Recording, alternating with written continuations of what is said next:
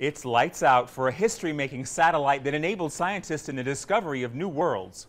It's called the Herschel Space Observatory, and the European Space Agency put it to sleep this week. It was named after an 18th century German astronomer and touted as the largest infrared telescope ever. Since its launch in May 2009, the satellite has discovered vast reservoirs of water vapor in disks of gas and dust around infant stars, which scientists believe could seed oceans like those found on Earth.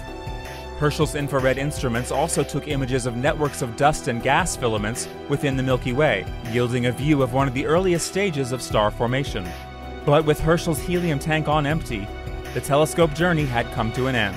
Considered an astounding success, the mission was planned for only three and a half years, but was operational for four.